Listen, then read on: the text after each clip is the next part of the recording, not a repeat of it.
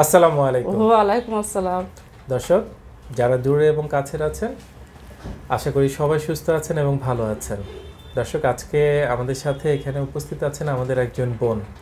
বাংলাদেশের খুব প্রসিদ্ধ একটি জেলা বন্দরনগরী চট্টগ্রাম। এবং ওখান থেকে এসেছেন ওখানকার স্থানীয় উনি তিন সন্তানের জননী। খুব স্বাভাবিক সুস্থভাবেই তো ওনার জীবন চলছিল। সাংসারিক মানুষ, সংসারের সব কাজকর্ম করেন, পাশাপাশি সন্তানদেরকে দেখাশোনা করেন, খুব সুখী কাটতেছিল দিন। বাট হঠাৎ করে এই সুন্দর জীবনটাতেই ব্যথা নামক একটি শব্দ প্রায় অন্ধকার করে দিয়েছিল জীবনটাকে। এবং এর আরেকটি নাম হচ্ছে পিএলআইডি মূলত ওনার পেইনটা শুরু হতো কক্সিস থেকে এবং সেই ব্যথাটা একটা সময় এত ক্রনিক পর্যায়ে চলে যায় যে প্রায় ডিজেবল হয়ে গিয়েছিলেন। কিন্তু হার মানেননি ব্যথার কাছে।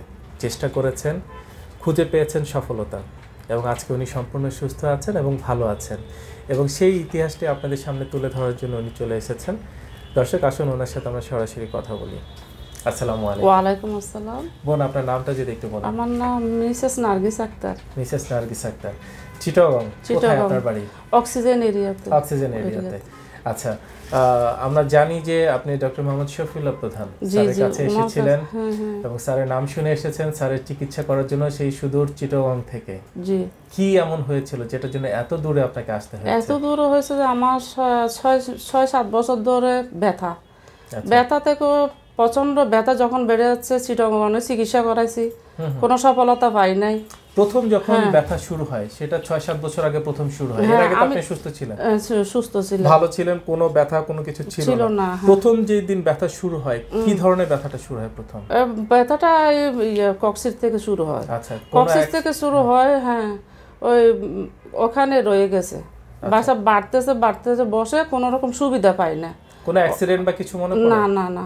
মানে স্বাভাবিক আছেন হঠাৎ করে একদিন দেখছেন যে ব্যথা। ব্যথা গাড়িতে চললে ব্যথা বাড়ে নিচু বসে কাজ করলে ব্যথা বাড়ে। আচ্ছা। এরপর থেকে স্যারের আমি সব কিছু ডিটেলস পাইছি ডিটেলস পাওয়ার পর এখানে চলে আসছে আমার হাজবেন্ডকে নিয়ে।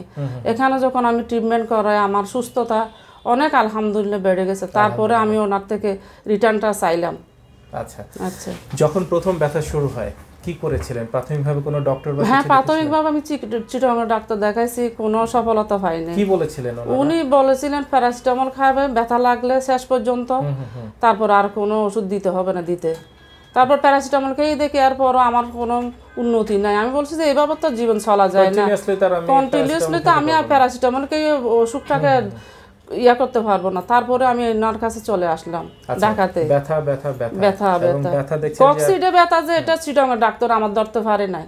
এখানে এসে যে যখন এমআরআই করাইছে তখন বোঝা যাচ্ছে আমার কক্সিডে হ্যাঁ ডাক্তাররা বলতেছে তারপর আমি বুঝতে পারছি যে আমার এই সমস্যা থেকে ব্যথাটা আচ্ছা তার মানে এই ছয় সাত বছর পরে আপনি প্রথম জানতে পারেন যে আপনার আসলে পেইনটা কক্সিসে কেন পিএলআইডি আপনার সমস্যা? সমস্যা হ্যাঁ। আচ্ছা তার আগে আপনি জানতেনই না। না জানতাম না। তো যখন প্রথম ডক্টর দেখান আপনাকে প্যারাসিটামল দেয় আপনি ওষুধ খাচ্ছেন ভালো হননি। তখন কি করেছিলেন? তখন একটা গোল রিং কুসুমের মতো দিছিল ওটা তো বসে আমি ট্রাই করছি কিন্তু আমার কোনো উন্নতি হয় না। তারপরে উনি কি বলছে ওটা করেছেন? তারপর আর কোনো কিছু করি না ডিটেলস এটা পাইছি আমি সোজা তার এখানে মানে এই চলে ছয় আসি। সাত বছর ধরে ব্যথা নিয়ে ব্যথা নিয়ে জীবনযাত্রা চলছে কিন্তু আর ক্যাপাসিটার বাইরে চলে গেছে কক্সিডের ব্যথাটা। তারপরে তো চলে আসলাম সর্বোচ্চ খারাপ কি হতো যখন হয়তো বসে কাজ হ্যাঁ, বসে কাজ করে, হ্যাঁ, কিন্তু আর উঠতে পারছেন না উঠতে পারছি না ব্যথা প্রচণ্ড ব্যথা ব্যথা কত প্রকার কাহাকে বলে এই যে চিকিৎসা নেওয়ার পর বুঝতেছি যে কত ধরনের উদাহরণ আচ্ছা। হ্যাঁ। তো যখন আপনার এরকম প্রচণ্ড পেইন হতো আরেকজনের সাহায্য নিয়ে উঠতে হতো কখনো মনে হতো না যে আমি তো সুস্থ স্বাভাবিক ছিলাম হঠাৎ করে আমার কি হলো যে আমি ওষুধ খাচ্ছি ডক্টর দেখাচ্ছি বাট ভালো হ্যাঁ, ভালো হচ্ছে না। কেন? এই যে কৌতূহল থেকে তো অজানাকে জানার জন্য তো এখানে আসা। আচ্ছা।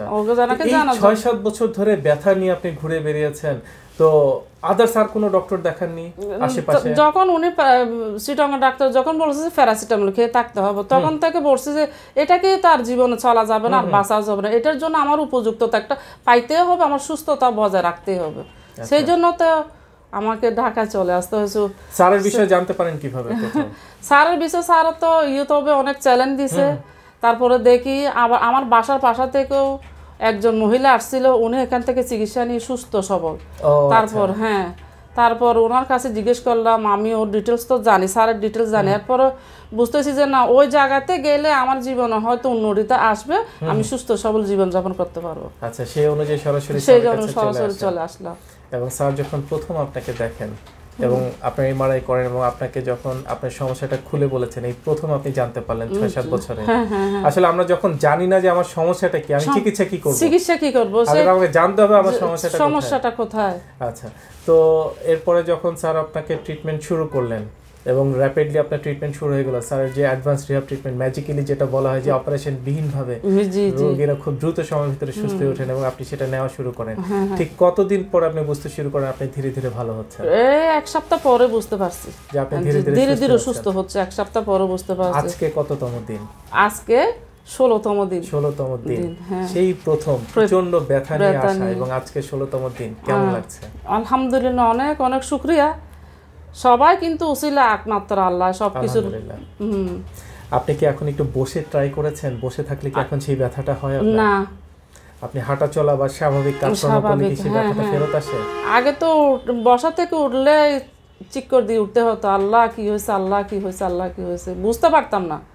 আমরা যেখানে যে এত ব্যথা এত ব্যথা নিয়ে যে বেঁচেছিলাম এটা আল্লাহর অনেক মেহেরবান। আমার হয়াত আছে সেই জন্য হয়তো এত কুসু দিয়ে ঘুর ঘুরান্তি থেকে এখানে এত পর্যায়ে আসছি আমি। আমরা যেখানে একদিন দুই দিনে ব্যথা সহ্য করতে পারি না সেখানে হ্যাঁ। পাঁচ ছয় পাঁচ বছরের ছ বছর আমি ব্যথা সহ্য করে আজকে আল্লাহ আমার এখানে রিজিক রাখছে সব কিছু রুসিলা দিছে আজ এই পর্যন্ত আমি সুস্থ আছি। আফসোস হয় না যে আরও আগে যদি আমি স্যারের হ্যাঁ কথা জানতাম। ওঠার জন্য আফসোস হয় কারণ অসুস্থ লাগলে বাচ্চাদের উপরে থেকে মানে কি মানসিকতা একটু দূরে যায় হ্যাঁ, হ্যাঁ। একটু কোথাও যাওয়ার হিসাবে রুচিটা কমে যায় কোথাও একটু আনন্দ করার থেকে রুচিটা কমে যায়। কিছু ভালো লাগে না। কারণ ব্যথাটা যে তো ব্যথা। ভুক্তভোগী বুঝতে পারে যে ব্যথা যে কত প্রকার। আজকে ঈদের দিন সবাই হয়তো খুশি করছে। আমি হয়তো হ্যাঁ অপ্যায়ন করে আমি যদি একটু বসতে যাই তখন আমার খুশিটা মলিন হয়ে যেত। পরিবারের সবাই হয়তো বাইরে যাচ্ছে বেড়াতে যাচ্ছে বাট আপনি ব্যথার জন্য পারছেন না। পারছি না। জীবনে কত আনন্দের সময়গুলো চলে- গেছে সুন্দর সময়গুলো চলে গেছে। যাই হোক একটা সময় ছিল যখন ইউটিউবের মাধ্যমে বা বিভিন্ন মানুষের মুখে শুনেছেন স্যারের কথা এবং নিজেকে হয়তো কল্পনা করেছেন আজকে ঠিক একই জায়গাটা আপনি আছেন এবং হয়তো অসংখ্য মানুষ আপনাকে অসংখ্য দেখছেন। মানুষ হ্যাঁ। তাদের জন্য যদি কিছু বলেন। হ্যাঁ তারাই তো যদি জীবনে সফলতা আর ব্যথাটুকু যদি নিয়ে না বাঁচতে চায় জীবনে সৌন্দর্য মাধুর্য বজায় রাখতে চায় এখানে ট্রিটমেন্ট নিলে সবাই আলহামদুলিল্লাহ ভালো হয়ে যাবে। আপনি যখন ভর্তি ছিলেন আপনার রুমে তো হয়তো আরও অনেক ফিমেল পেশেন্ট ছিলেন হ্যাঁ তাদের সুস্থতা কেমন তাদের সুস্থতা খুব সুন্দরভাবে হয়েছে। খুব দ্রুত সময় দিতে তারাও সুস্থ হয়ে সুস্থ হয়ে গেছে হ্যাঁ খুব এবং এটা সুন্দর দেখার পর আপনি নিশ্চয়ই আরও একটু ভরসা পেয়েছেন। আরও একটু বর্ষা পেয়েছে আলহামদুলিল্লাহ। এবং আজকে নিজেও আপনি সুস্থ হয়ে বাড়ি চলে যাচ্ছেন। এই যে দীর্ঘ অনেকটা দিন পরে বাচ্চাদের কাছে যাচ্ছি। বাড়ি থেকে দূরে ছিলেন হ্যাঁ। আজকে যাচ্ছেন কেমন লাগছে? সুস্থ অনেক ভালো লাগতেছে। সবার জন্য দোয়া। আমরা যত মুমিন মুসলমান আছি সবার জন্য সবাই যাতে সুস্থভাবে জীবন গড়তে পারে এটাই কামনা। সব জায়গায় যাতে আল্লাহ সুস্থতার যে কোঠাগুলি আছে সেই কোঠাগুলি আল্লাহ যেহেতু সবার মাধ্যমে দিয়ে দেয়। এটাই আমার চাওয়া আর কিছু না। সুস্বাস্থ্য সকল মূল হচ্ছে সুস্থ। অবশ্যই। স্বাস্থ্য সুখের মূলটাই সুস্থতা। জীবন অসুস্থতা নিয়ে কেউ বেঁচে থাকতে চায় না। এটাই কেউ চায় না এটাই সবচেয়ে বড় কথা। খুব সুন্দর বলেছেন। দর্শক শুনলেন এতক্ষণ। খুব সুন্দর একটি মেসেজ এটা আমরা যদিও অনেকেই জানি কিন্তু তারপর যখন আসলে আমার ক্ষেত্রে হয় না তখন আসলে আমরা বুঝতে পারি না যে আসলে একটা সুস্থ সবল দেহ একটা সুন্দর মন আপনি যদি অসুস্থ থাকেন পৃথিবীর সবটুকু সুখ আপনাকে এনে দিল আপনার ভালো লাগবে ভালো লাগবে না। কারণ আপনার মনে তখন সুখ নেই।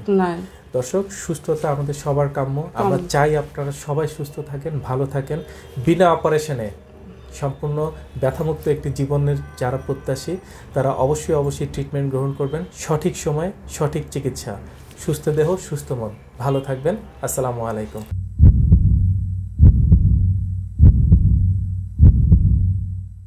দীর্ঘজীবী হওয়ার প্রথম পদক্ষেপই হচ্ছে সুস্বাস্থ্য নিশ্চিত করা।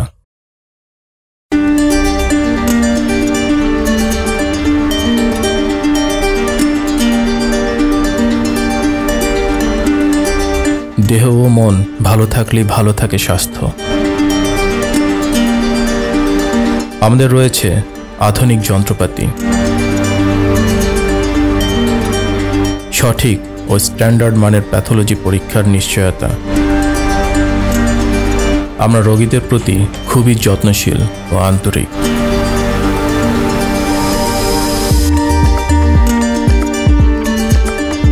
আমরা সর্বপ্রথম প্রতিটি রোগীর সঠিক রোগ নির্ণয় করি, এরপর রোগ অনুযায়ী অপারেশনবিহীন চিকিৎসা দিয়ে থাকি।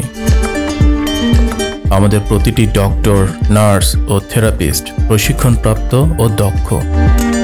আমরা প্যারালাইসিস রোগীদের নতুন করে চলতে শিখাই।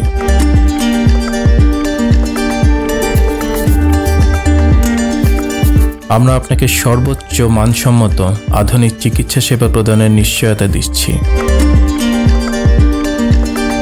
আমরা বিশ্বাস করি আপনি এখানে আপনার নিজ পরিবারের মতোই সেবা পাবেন।